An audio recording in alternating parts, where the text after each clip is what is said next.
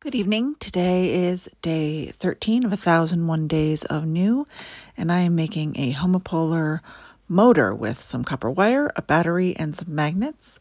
As you see, I placed the battery on top of the magnets, and then on top of that, I created this sort of wire cage. And my first try was to just use this hook method that I've seen where you um, just create this little hook and you balance that on the sort of the node top. And you see it worked a little bit. It started to turn, but I needed something a little bit more secure and a little bit more balanced. So I put together this um, M-shaped cage and put that on top. And it still wasn't completely balanced, but it was way better.